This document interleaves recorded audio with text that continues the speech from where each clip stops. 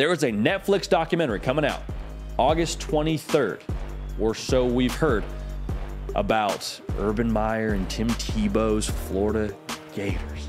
It's going to be titled Swamp Kings. The reason that we know this is Brandon Siler was a linebacker on that team. He screenshotted an email that he supposedly got from Netflix saying, hey, go ahead and, and kind of get some promotion going for this documentary. We're going to send you a sweatshirt. Anyway, it, it essentially broke the internet. Like it, it, was all that I could think about for the duration of the weekend when I found out that was going to happen. Because we've been clamoring for this for a while. Like people have tweeted about this for a long time. Man, I wonder if we could one day get a documentary about that story. Now, there is a thread on Gators Online from Zach Abolverdi talking about this very thing. So if you want more information, go get a membership at Gators Online. They're going to keep you in the know. But I just wanted to kind of have a conversation here about things that I hope we see in this documentary. I mean, great documentaries, what do they capture? They capture the inside stuff, right? And the locker rooms, just in general, locker rooms, I believe, are a lot like national parks in the sense that they are one of the last remaining places where camera crews are yet to go. Same thing with, with national parks. Like you don't go and develop a mall in a national park. Why? Because it's, it's, you know, it's sacred. You don't, you don't go there. Same thing with locker rooms.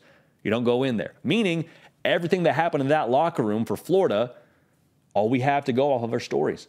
And it sounds like we got Urban Meyer on the documentary. Sounds like we got Tebow on the documentary. I'm curious to see who else we got on the documentary. But I'm just curious to hear what was that locker room like, man?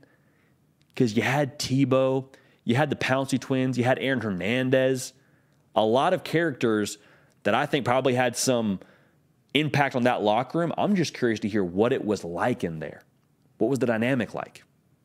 That's one of the top things I want to hear about. Now, in that same vein, Tim Tebow during this time, he was larger than life. Like there's a lot of people that are just a few years younger than me that label themselves Florida fans. Some of them are from like Ohio, some from South Dakota. But the reason why, reason why they're Florida fans is because of what this team did and what Tim Tebow was, not just to college football, but to the entire United States of America. Like he was so visible and synonymous with college football that it was it was something that I don't know we've we've really seen since. The closest thing to it is maybe Johnny Manziel. But you take an icon like that and put him in college. you put him in a spot where he's got to go to class and go to practice and be in the locker room with a lot of guys. Like, what was that like? What are the stories we got about Tim Tebow? He was portrayed as just like a psychopath when it came to working out. What are those workout stories like? He's got some of those in his book.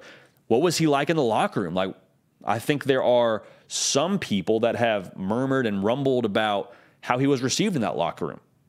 Because I'll just say this Tim Tebow, man, from the way that it sounds, and hopefully we get more insight on this in the documentary, from the way that it sounds, he is, how do I say this?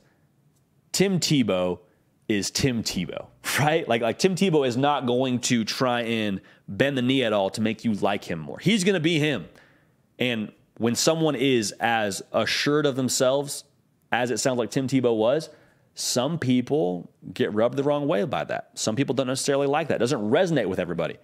Now, I'm not implying anything. I think there was a podcast actually that had a former Florida player that alluded to this. But I'm just saying, I am very, very curious to hear about how Tim Tebow was in that locker room and just all the stories that I'm sure we're going to get about his time at Florida under Urban Meyer. And that's the last thing here. Urban Meyer somehow, some way, got this team with all of these players with different backgrounds and different ways that they turned out in their time after Florida to go and win multiple national titles. Like that's saying something. How did this come together? How did you get Aaron Hernandez, Tim Tebow, Riley Cooper, Janoris Jenkins, the Pouncey twins. How did you get all of those guys with different backgrounds and different just ways that their life went after Florida? How did you get them all to come together and just be a force on the college football landscape?